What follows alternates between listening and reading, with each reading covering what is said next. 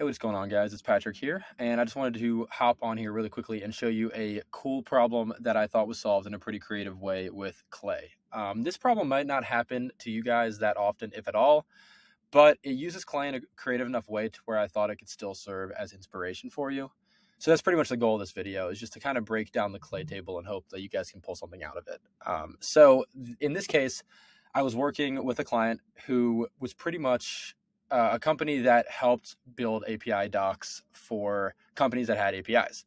And one of the founders noticed that if you just look up README on Google and use a couple search operators, you can pretty much return a giant list of companies that have API docs, which is their exact ICP. That's exactly who they're looking for.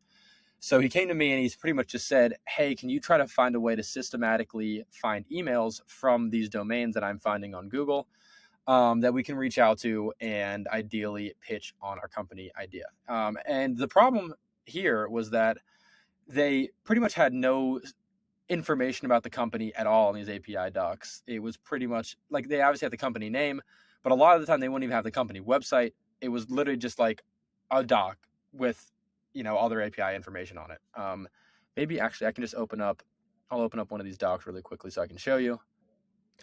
Okay, so as you can see here, we are on Razorpay's API documentation, and there's really nothing that you can, let's say, systematically scrape and consistently get information from from each one of these domains because each one of these documentation pages look a little different. They're all structured a little bit differently, and so there's really no way to just map out each page and and systematically scrape them. Um, so the problem here was that we didn't have much information that we could really get out of these, at least in the way that you usually would with scraping a page so pretty much after I realized that, I decided to just start playing around with a lot of the Clay integrations and see if I could pull anything out of these domains. Um, so the first thing I did was scrape the website and try to find any sort of emails or social links or whatever to help me, you know, figure out like how on earth am I going to get emails from these domains? And I didn't get anything. The the scrape website didn't really help me at all. So then next, what I decided to do was use an OpenAI script on all these domains to pretty much determine at a best guess what company was associated with these API docs. So I said using the following description and link, tell me what company you think the link is associated with. And I used the website description that I was able to scrape and the domain. So that was my next idea. And it returned at a pretty high accuracy, luckily. We were able to pretty much figure out what company was associated with each one of these docs using the description and um, the link that we got from obviously the search results. So after that, all I did was got that company name and I threw it into a search Google integration. And all I did was company name API. And I returned the first result that came with it. And we, we just assumed that the first result that we got from that search result was the API docs for that company.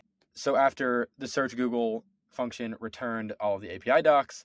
I was able to use OpenAI to get the base domain from each one of the API docs. So as you can see, all I did was just take out the docs section or whatever part um, of the, the domain wasn't needed. So after that, all I did was enrich the company using our LinkedIn integration, and I was able to find a ton more information about each one of these companies. This is kind of like the big breakthrough here, right? Like I was able to finally figure out, like, okay, I found what the company is. Let's find some people associated with the company. So after I did that, I used the Find contacts at company integration.